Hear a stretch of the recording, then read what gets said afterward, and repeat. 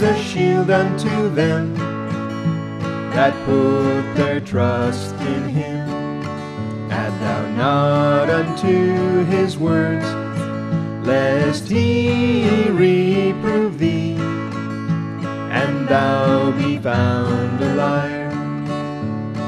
Two things have I required of thee, deny me them not before I die.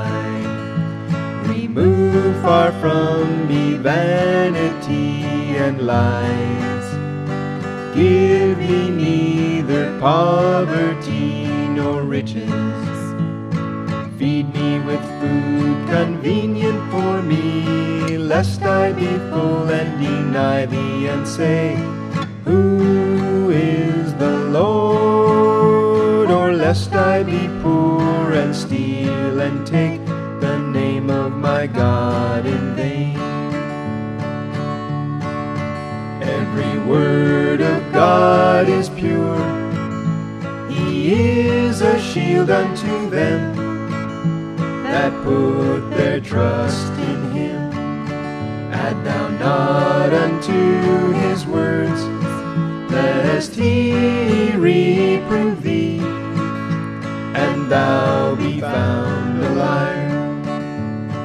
Two things have I required of thee, deny me them not before I die. Remove far from me vanity and lies.